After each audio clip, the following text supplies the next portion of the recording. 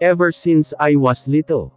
I learned to smile when I'm happy and frown when I am sad. Mas madaling pahirin ang luha at mas madaling kalimutan ang sakit. Dahil alam kong hindi pa ako mulat sa realidad, hindi pa ganoon kalalim ang sugat na pwede kong indahin.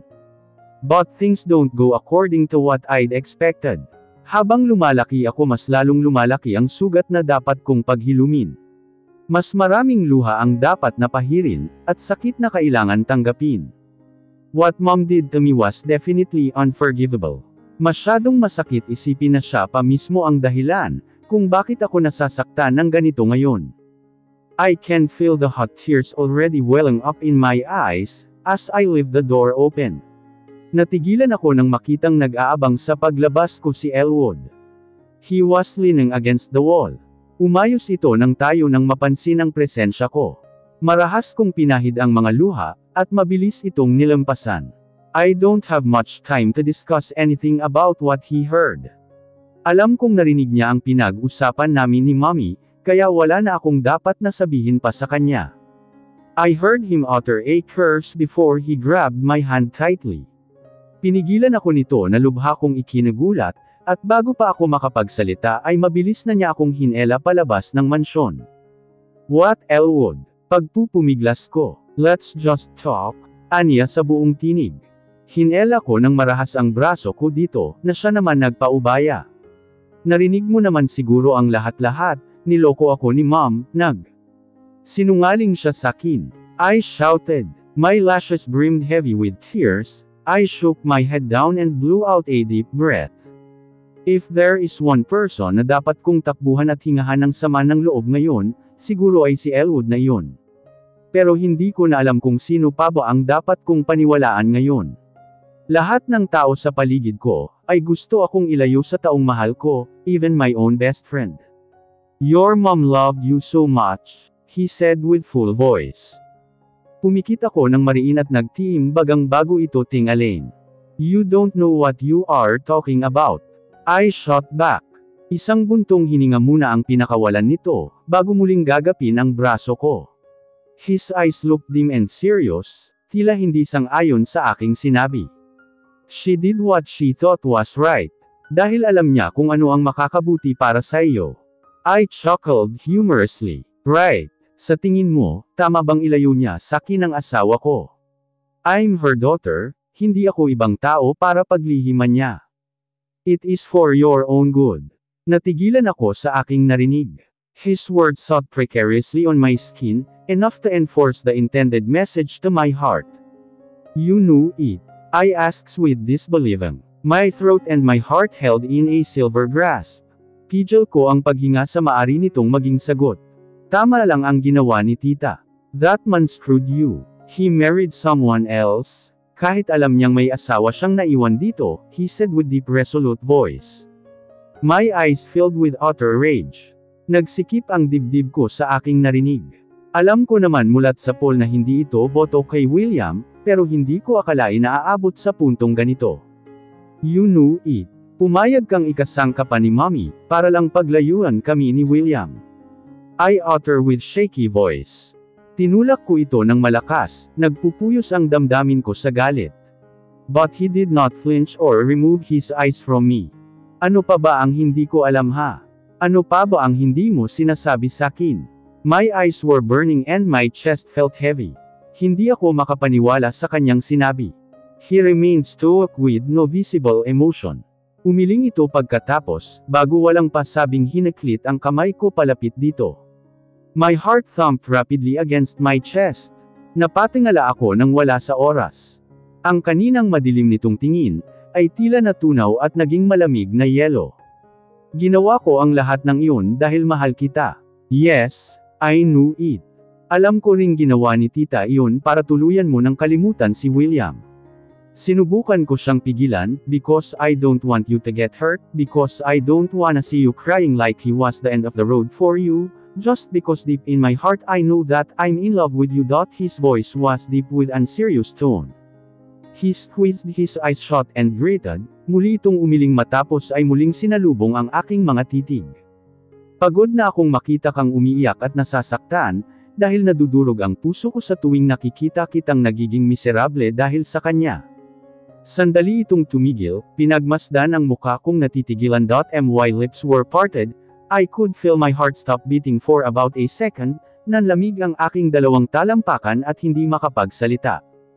Noon pa man ay mahal na kita, I don't know when it started. But one thing is for sure, this, mabilis nitong dinuro ang dibdib, this thing is wildly beating for you, he said in a softer tone.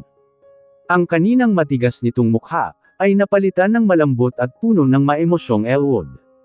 Nagbaba ako ng tingin, I bite my tongue, trying to hold my tears, that threatened to weld up my eyes.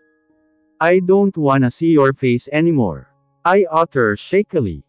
Umatras ako para tuluyan ng makalaya sa kanya, ngunit hindi niya ako hinayaan. Nagtaas ako ng tingin at sinalubong ang mga titig nito. I hate you. I hate you for doing this to me, you are my best friend. I said painfully. Hindi ito nagsalita, bagkus ay kinabig ako nito para yakapin ng mahigpit. Nagpumiglas ako, pinagsusuntok ang kanyang dibdib. Habang patuloy na umaagos ang masaganang luha sa aking dalawang pisngi. Just leave me alone, bigkas ko sa namamaos na boses. I'm tired, nakakapagod ng lumaban. Pakiramdam ko ay wala akong pwedeng kapitan kundi ang sarili ko lamang. My tiredness makes me limp, my legs almost failing beneath me.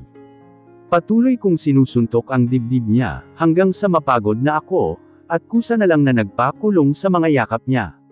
He moved his hand and gently caressed my back, hugging me tight and trying to soothe me dot and telling me that everything will be okay.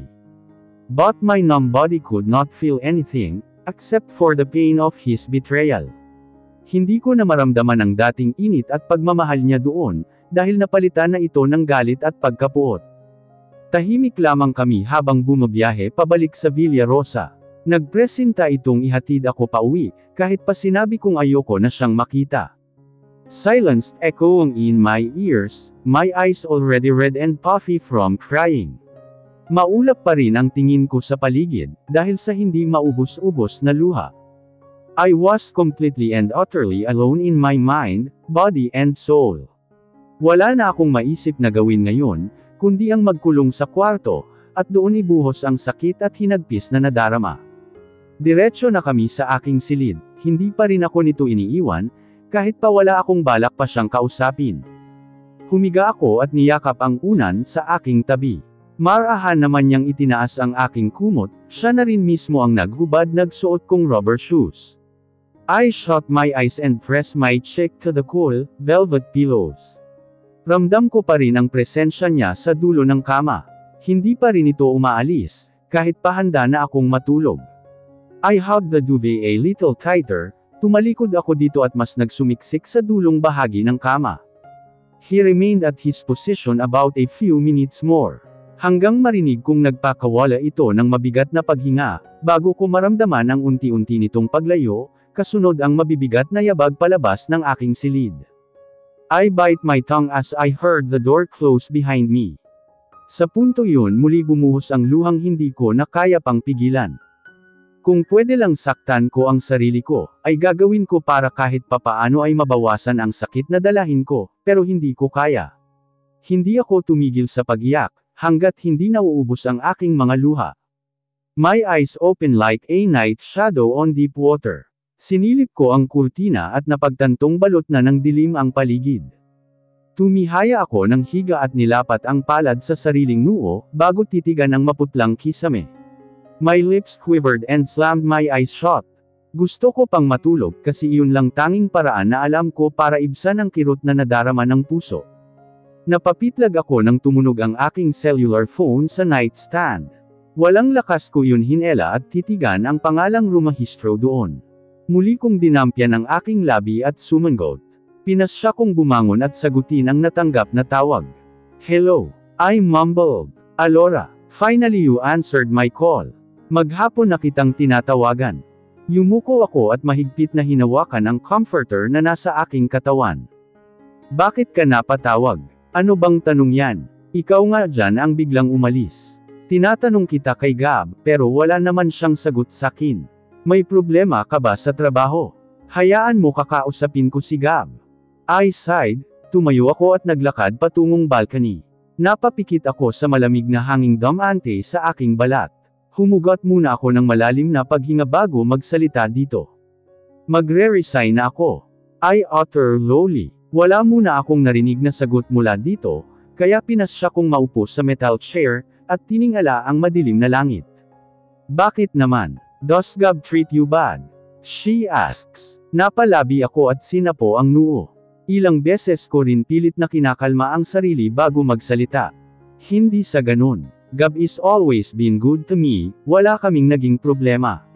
Kailangan ko lang talagang umuwi ng Queensland, walang emosyon kung sinabi. Again silence lingered in the air. I can only hear Alessandra's heavy sigh. I really sorry, Alessandra. I said with my weakened voice. You better talk to Gab regarding to your resignation. He'll surely understand your reason behind of it, she's spoken with cold formality. Napasinghap ako, ano bang dapat kong sabihin? I'm sure Gab won't accept my resignation. Sigurado akong ipipilit nitong wag akong umalis, pero buo na ang desisyon ko. Yeah, I'll send to him my resignation letter through email. Nakagat ko ang ibabang labi. Iyon na lang kasi ang naiisip kong paraan sa ngayon. Muli itong napabuntong hininga sa kabilang linya. I know that she's not happy with my decision. Naging mabait ito sa akin simula nang tumungtong ako sa kanilang pamamahay, at naging malapit kami sa isa't isa kahit na hindi dapat. But, I know in time, maiitindihan niya ang naging desisyon ko. Hindi ako umaasang magiging ayos pa kami pagkatapos ng gagawin ko. Pero deep in me, I know that she had a big heart to understand. Matapos ko itong kausapin ay bigla akong nakaramdam ng gutom.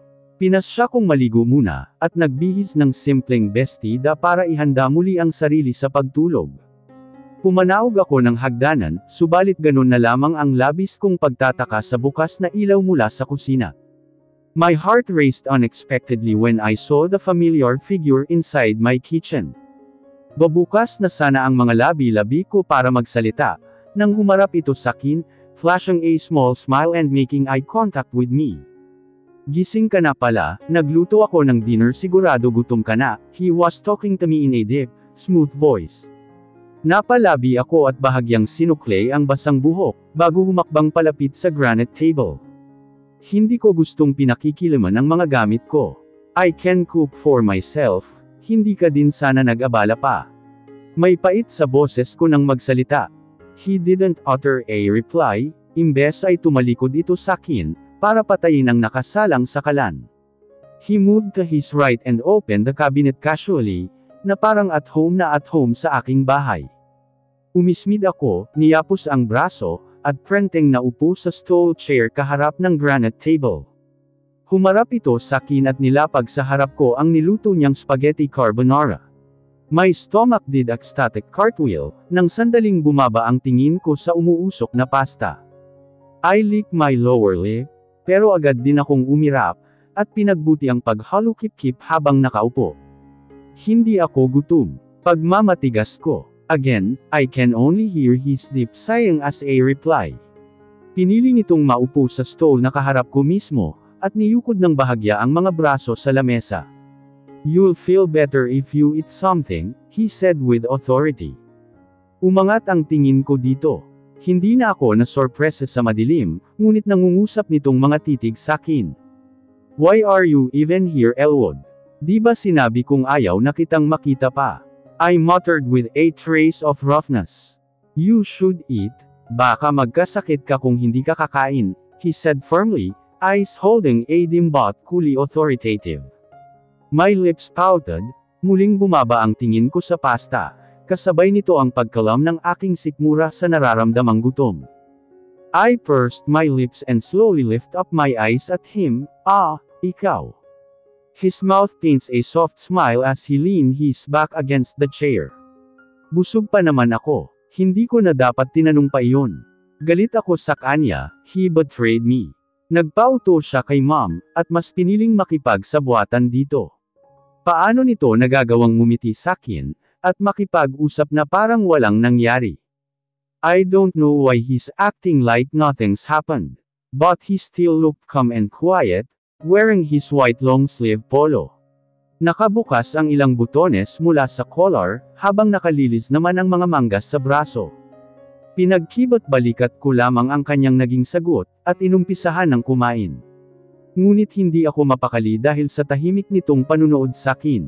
Marahan kong binaba ang tinidor, at muli itong tiningala. He continued to stare at my eyes passionately. Hindi pa rin nawawala ang mga ngiting naglalero sa mga labi. My frozen heart shifted at the sight of his gaze. Busog na ako, makakaalis ka na. I said coldly. Mabilis kong uminom ng tubig, at tumayo para ihanda na ang sarili sa pag-alis. Dito na ako matutulog ngayong gabi. Agad na depina ang mga paa ko sa paghakbang, nang marinig ang sinabi nito. Marahas akong humarap dito, and threw him a venomous glare. I'm sorry. Nanliliit ang mga matang tanong ko. He glanced down at his wristwatch, and glanced back at me. It's late, pagod ako sa biyahe, madami ka namang guest room dito diba? He said casually.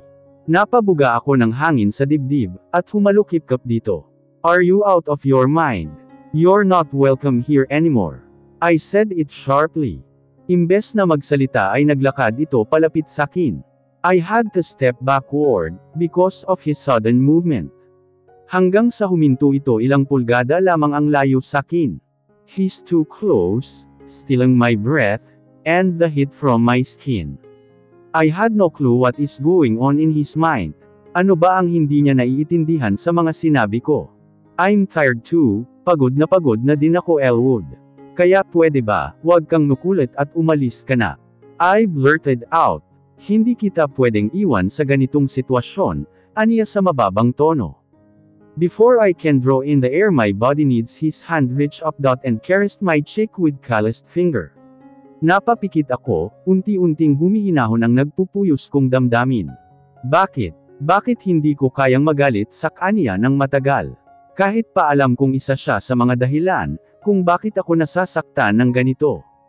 Umiling-iling ako, hindi ito naging totoo sa akin, kahit pa sabihing ginawa lamang niya iyon, dahil sa labis niyang pagmamahal. I don't understand his real feelings toward me, I'm tired Elwood. I whimpered, a pair of tears raced down my cheeks. He didn't utter a word instead, his arms wrapped around my back, drawing me in closer. I have melted to his chest. I can feel his firm torso dot and the heart that beats within. I'm just here for you, he pulls his head back and wipe my tears. Marahan kong hinawakan ang dalawa niyang palapulsohan, at dahan-daang inangat ang tingin dito. I watched his dark eyes dot and how I find myself lost and mesmerized by his heartfelt gaze. Elwood pulled me close to him, and kissed my forehead. I shut my eyes with anticipation. Isang mabigat na paghinga ang pinakawalan ko, habang nanatili ito sa aking harapan. Alora he uttered my name in a soft melodic voice. I gasped, mas humigpit pa ang hawak ko sa dalawa nitong palso, habang patuloy niyang hinahawi ang aking mga luha. Hindi ko maintindihan ang sarili, I still get confused whenever he's around. I was never feel alone, nor lonely at the same time. With him, everything else has dissolved like it was never there at all, he cursed. Then before I know how it happened, he smashed his lips against mine. Our tongue entwined in a kiss, gentle and it tastes of my tears. My heart was moved, pakiramdam ko ay may tumusok sa puso ko na hindi ko mabigyan ng pangalan. Our lips fitted perfectly, as if we're meant for each other. I grabbed the back of his neck to deepening the kiss. And his warm hand ran down my body, and I shivered with delight. Batid kong mali at may hindi tama, pero bakit pinipili ko pa rin tag-onan ang mga halik na iyon? Bakit pinipili ko pa rin tanggapin ang maiinit, at nakakapaso niyang mga yakap? And I asked myself once, do I have to give him a chance or not? Hindi ko rin natulak para umalis si Elwood kagabi. Natulog ito sa isa sa mga guest room dito sa villa. Matapos ng halik na yun kagabi, ay madami akong napagtanto. Elwood is madly in love with me. He teach me what love is all about. It has no possession, it is not blind. But no one ever teaches you, that not loving at all is better than loving the wrong person. And apparently I realized he wasn't mine to love. Maaga akong nagising kinabukasan. Tulad ng dating gawi pinagluto ko ang sarili, pero dahil nandirito si Elwood I decided to cook for three.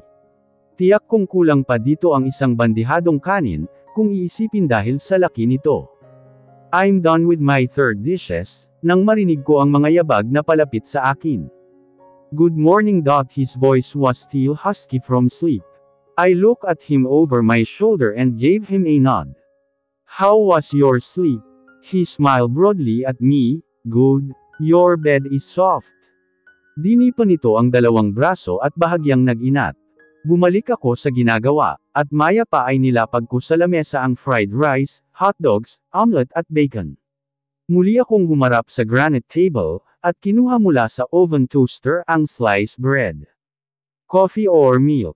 I asked without looking at. Coffee would be better, he replied. Muli akong tumalikod dito, at inumpisahang ang pagtitimpla ng kape para sa aming dalawa. Any plans for today? I pursed my lips. Madiin kong pinindot ang coffee maker. I have not. Wanna go watch the movie? Hindi ako sumagot. Tahimik kong nilapag sa harapan niya ang tasa ng kape. You should eat, may pasok ka pa sa trabaho. Dinampot ko ang aking kubyertos, at inumpisahan ng kumain. Batid kong natigilan ito sa aking sinabi. Hindi ko naman pwedeng pilitin ang sariling makipag-usap dito ng normal. Okay then, if you haven't yet any plans for today, Sasamahan na lang kita dito buong araw, he declared. I rocketing my gaze at him. Pino kong binaba ang hawak na kubyertos. At marahang samandal sa aking silya. You don't have ta. Kaya ko naman ang sarili ko. Sa kabalak kong bumisita kila Isaiah mamaya. He furrowed his brows, gaya ko ay samandal din ito sa kanyang silya, at tumitig ng matiim sa aking mata. That is my plans for today, I added with a shrug. Hindi ito nagsalita, but I noticed his jaw flexed and his face turned into a grimace. I let out a heavy sigh, at sinalubong ang mga titig nito.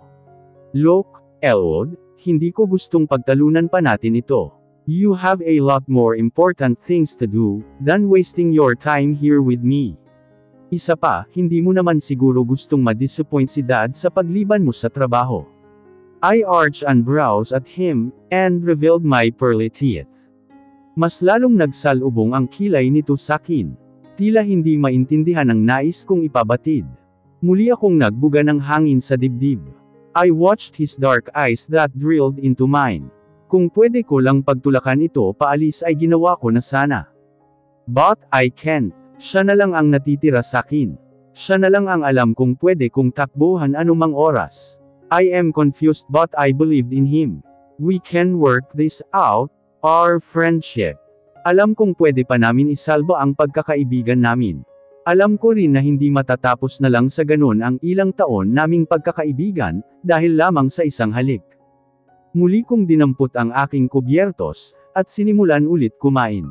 Pero hindi ko mapigil ang hindi magsalita. Pag tinanong ako sa iyo ni Daddy, sabihin mo ayos lang ako dito. Bibisitahin ko na lang siya sa firm one of these days. Hindi ko narinig na sumagot ito, kaya sinulyapan ko itong muli. I'll be back in San Marcelino by the end of the month. Doon na nito binasag ang katahimikan. He muttered a curse. Hindi na rin muli pang dinampot ang kanyang kubyertos.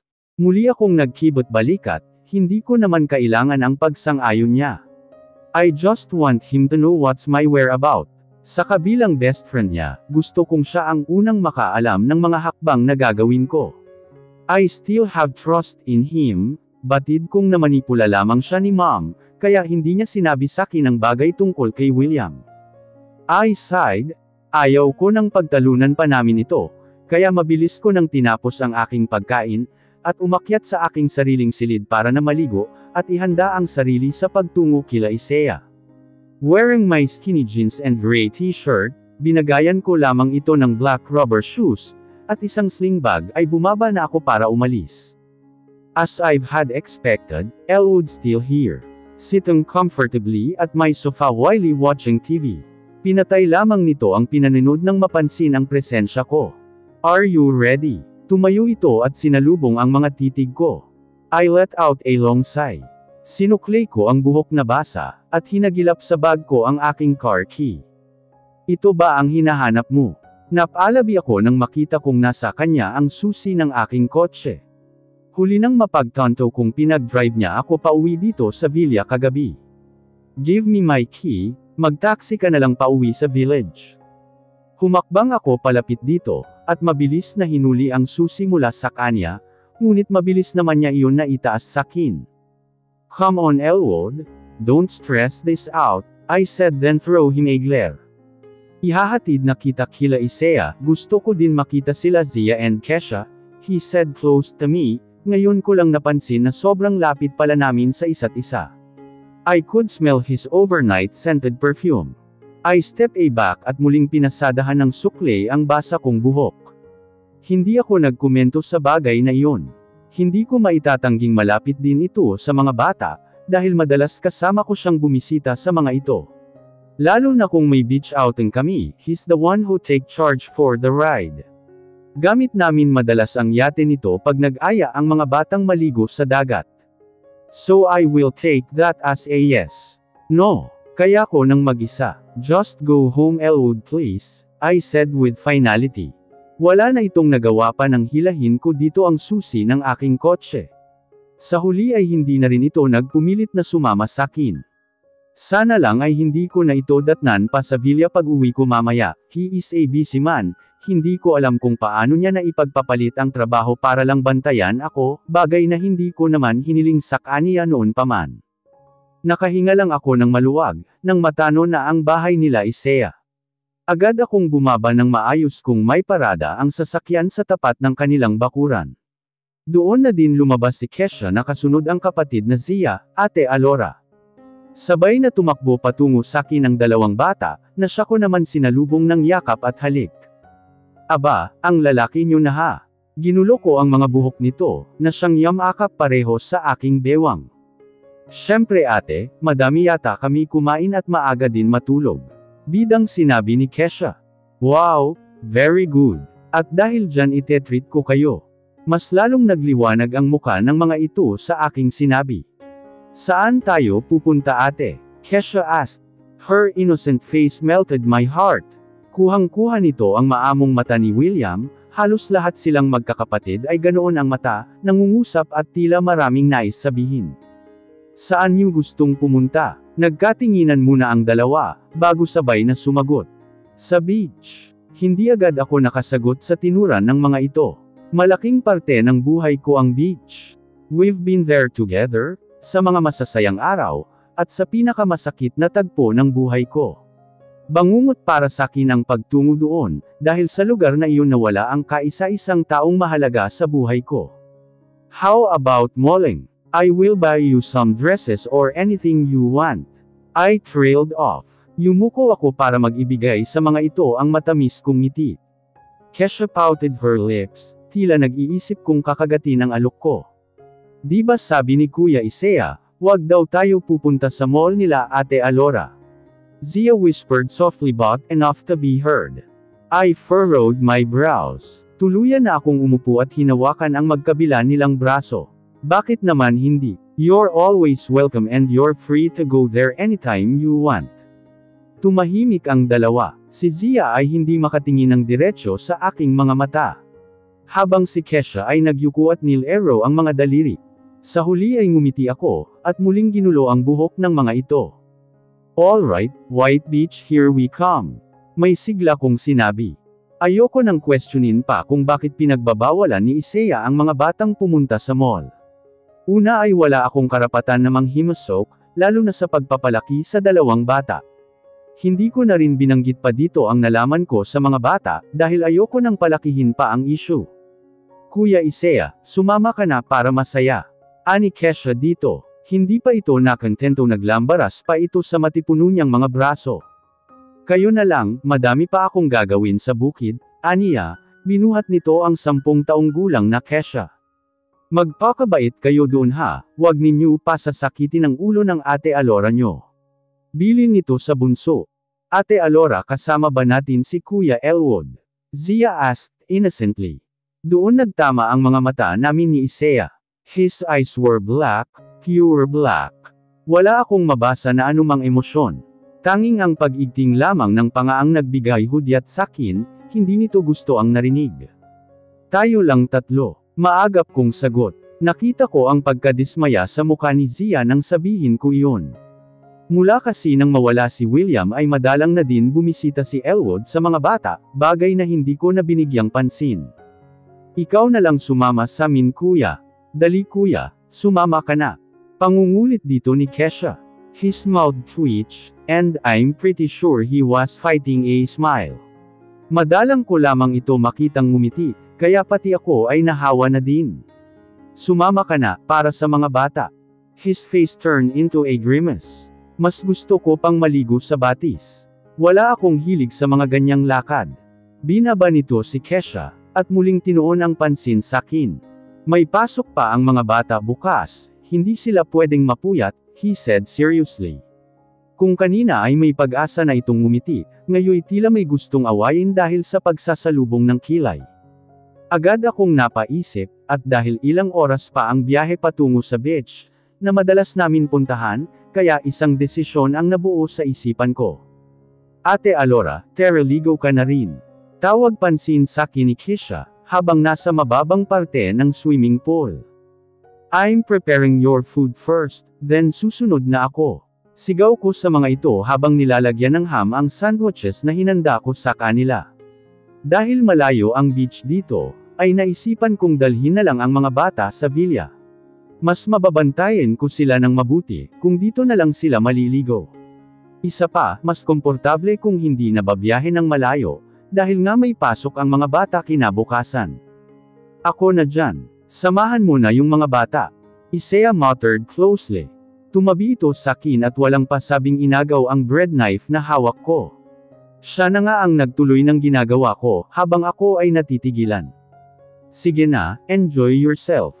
Ako na ang bahala dito. Seryoso pa rin ang mukha nito, na ngayon ay nagpapahid ng mayonnaise sa mga tinapay. Ikaw, hindi ka ba maliligo? Tumigil ito sa ginagawa at sumulyap sa akin. Muli ay naroon na naman ang intensidad sa kanyang mga titig. Hindi ko alam kung may mali ba sa sinabi ko, para mag-react siya ng ganito. Ayos lang ako dito. Sige na, enjoy yourself with the kids. Namiss ka ng sobra ng mga yan, he muttered closely. Salamat sa binigay mo pagkakataon para makasama ko ang mga bata. Yuko ang ulo kong sinabi. Hindi ko naman pwedeng balikterin ang mundo, at kalimutan ka bilang hipag ko. You're still my brother's wife. Kahit magalit pa ako at isisi sa iyo ang pagkawala niya, hindi pa rin mababago nun ang katutuhanang parte ka na ng pamilya namin. Umangat ang ulo ko dito, nabakas ang pagkamangha sa kanyang sinabi. I need a moment to process everything I heard, bago ko maisipang ngumiti dito. Salamat Isea. Sa labis kong tuwa ay niyakap ko ito ng mahigpit. Napapikit ako nang umangat ang kamay nito, para gumanti ng tipid na yakap. Nang kumalas ako dito, ay tumungo lamang ito sa akin para itulak papunta sa mga bata. Ganoon nga ang ginawa ko, hinubad ko ang t-shirt ko at iniwan ang short, bago tumalon sa mababaw na bahagi ng pool. Ate Alora, masayang salubong sakin ng mga bata. Tahimik kong sinara ang pinto, kung saan mahimbing nang natutulog sina Kesha at Zia. Magkape ka muna bago umuwi Isea. Naabotan ko ito sa may terasa, at nakaupo sa kaharap ang coffee table. Dahil hindi naman ako nagmamadaling umuwi, ay pinaanlakan ko ang alok nito. Ilang minuto kaming tahimik at walang imik. Tanging ingay lamang ng mga kuliglig, at ilang insekto ang pumupuno sa paligid. Salamat sa oras na binigay mo sa dalawa. Alam kong hindi mo sila maintindihan, kaya humihingi rin ako ng pasensya sa kakulitan ng mga yon, he started, hinela nito ang tasa ng kape at humigop ng kaunti bago ibaba. Wala iyon, isa pa sinisiguro kong may oras akong nilalan para sa kanila. Pag nandito ako sa Queensland. Muli ay binalot kami ng katahimikan. Bago ko marinig ang malalim nitong buntong hininga. Kamusta si William? I startled from my seat when I heard his question. Wala sa loob na hinela ko ang tasa ng kape at humigop ng konti. Hindi ka naman uuwi dito nang walang dahilan. Sumulyap ito sakin, with eyes looked so dim and serious. Tell me, may hindi ba magandang nangyari? I took a deep breath and leaned my back against the chair weakly. I don't know, ibang-iba na siya sa dating William na kilala ko, I said with a lace of bitterness. Alam ko unti-unti nang bumabalik ang alaala niya. Nakakakilala na siya si Rupert, nagtab-trabaho sa kanya si Rupert. Si Rupert, Galing dito nung nakaraan si Rupert, may mga dalang groceries at imbitasyon. Agad na lumipad ang tingin ko dito na nakakunot ang noo. Imbitasyon. Nagkibit balikat ito sa akin. Hindi ko alam kung para saan ang imbitasyong iyon. Noong una tinanggihan ko, pero sa huli nang banggitin nito ang pangalan ni kuya, ay pumayag ako. Sunod-sunod na ramagasa ang kirot sa puso nang mapagtanto ang kanyang sinabi. Gusto ni William na makita ang mga kapatid nito at habang ako. Paano naman ako? Hindi ba nito naisip ang nararamdaman ko? Alam nitong may asawa siyang naiwan dito, pero bakit kinakaya niyang baliwalain ako? Pinigilan ko ang mga luhang nais pamatak, at tuluyan ng tumayo. Ah, mauuna na ako. Maaga pa ako sa opisina bukas. I said with my shaky voice. Hanggang sa pag-uwi ay ginugulo ako ng mga sinabi ni Isaiah, at ang totoong dahilan ng pagpunta ni Rupert sa kanila at ang imbitasyon. Para saan ang imbitasyon na yun? Minabuti kong maaga matulog, dahil balak kong bumisita sa opisina ni Dad bukas. Alam ko nagtatampo na yon, dahil halos maglis ang linggo na akong nandito, ay hindi pa kami ulit nagkikita. Inayos ko na ang sarili sa paghiga. Doon ko lang din naalalang buksan ang aking cellphone. Napakunot ang noo ko nang sunod-sunod ang mensaheng dumating galing kay Alessandra. I've been calling you all day, pero hindi kita makontak. Call me when you receive this message. Marami pa itong mensahe sa akin na hindi ko na pinag-abalahan basahin, ngunit may isang mensaheng umagaw ng atensyon ko. We're here in Queensland.